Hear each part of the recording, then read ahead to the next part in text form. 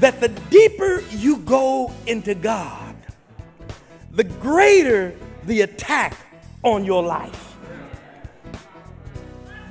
Now, that may sound strange.